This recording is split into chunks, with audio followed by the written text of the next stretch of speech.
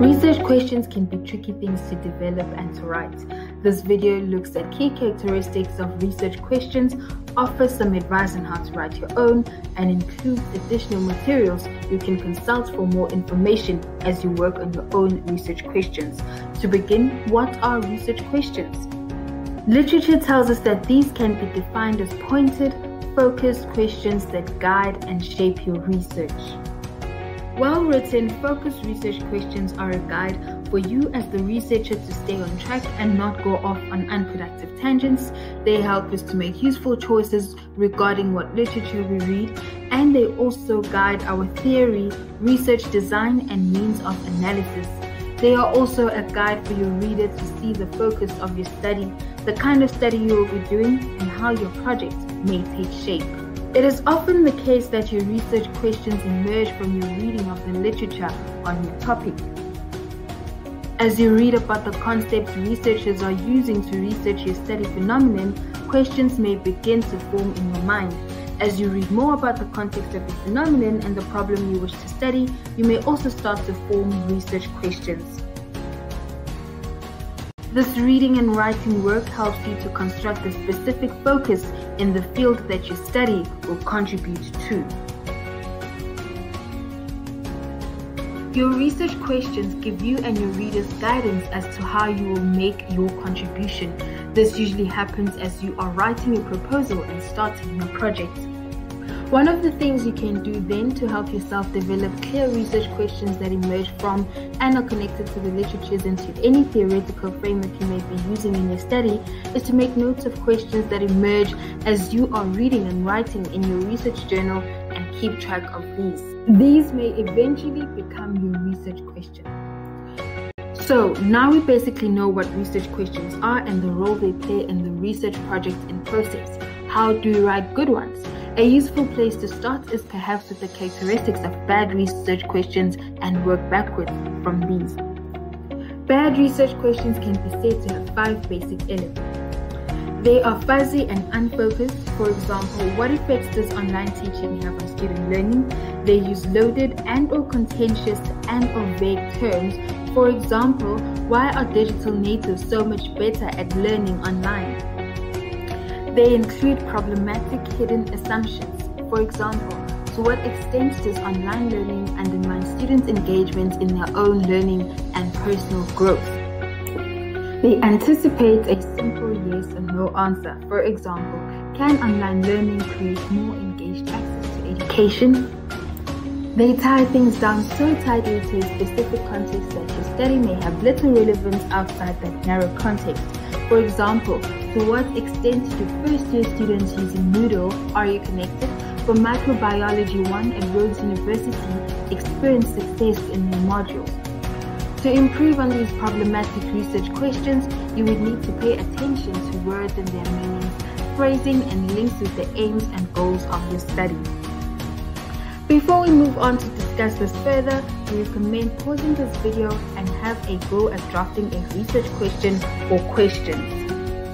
The problem with many words in academia is that they are often words that have ordinary or everyday meanings as well as conceptual or research informed meanings. Take engagement, for example.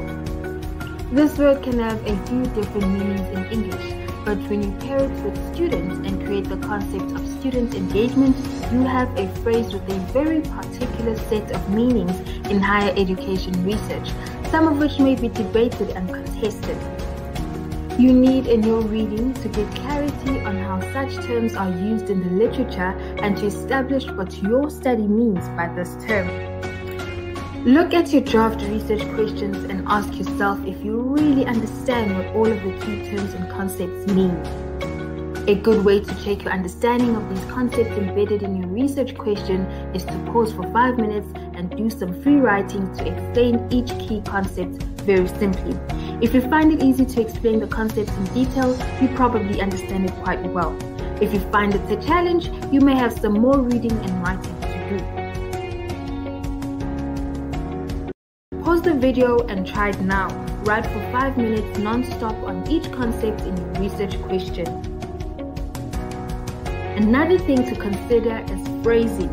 You want your research questions to be short, focused and conceptually clear.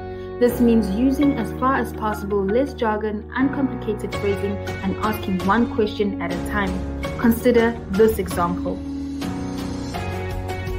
What are the fields in these two disciplines and to what extent does an understanding of the field combined with an understanding of the underlying discourses and principles offer researchers and practitioners valuable insights into the disciplinary knowledge practices? There are a few things wrong with this question, but perhaps the most glaring issue is that this is actually two questions. Understanding the field and understanding the underlying discourses and principles are actually two things related perhaps but not one and the same. Also, you may wonder what discourses and principles means here and what disciplinary knowledge practices are.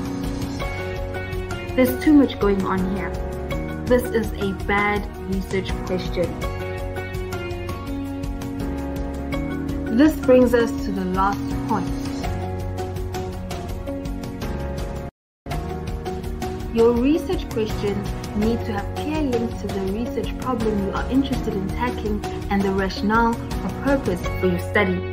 You can make some notes for yourself on what your research problem is, why your research is necessary, what the gap you're addressing is, and what literature and theories or models inform your research approach. The answers to these will assist you in drafting focused, guiding research questions. It is important to remember that the questions you draft for your proposal may look quite different to the questions you have in the final thesis. This is normal and part of the research process. Seeing how your questions grow, become refined, and take a more sophisticated shape between the proposal and the final draft of your thesis can be a heartening and gratifying process. Remember that your research questions provide the golden thread to your whole study. When your reader sees your research question in your text and then reads your discussion of the literature, it should be clear why you are discussing that particular literature. Similarly, the theories you are using for your study should seem well aligned to the questions you are asking. The kinds of data you collect and the ways in which you analyze them should also make sense given the research questions you are asking.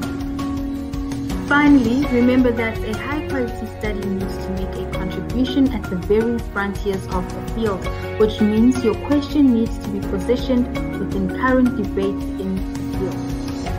If you have more than one research question, make sure that each question does not require you to engage with different literature and theories or to collect different data and undertake different analyses. Make sure that collectively your research questions lead to a doable study.